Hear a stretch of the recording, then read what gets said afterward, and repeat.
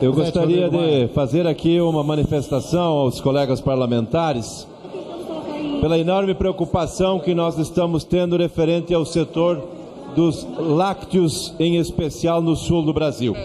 Imaginemos um agricultor que no mês de julho recebeu R$ 1,29 por um litro de leite e agora, em novembro, quatro meses depois, R$ 1,09, 15% a menos em média o valor pago aos produtores. Deste jeito, não vai ficar produtor, nem indústria, nem transportador em condições de continuar na atividade.